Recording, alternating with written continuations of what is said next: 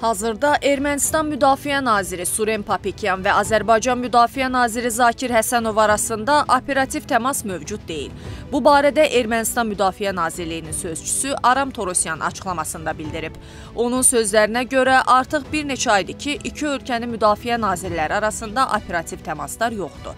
Müdafiə Nazirliyinin rəsmisi təmas xəttində davam edən gərginliklə bağlı əlavə şərh verməyib. Xatırladaq ki, Ermənistanın baş naziri Nikol Paşinyan ötən ilin noyabrında Ermənistan və Azərbaycan Müdafiə Nazirlikləri arasında operativ əlaqə barədə məlumat vermişdi.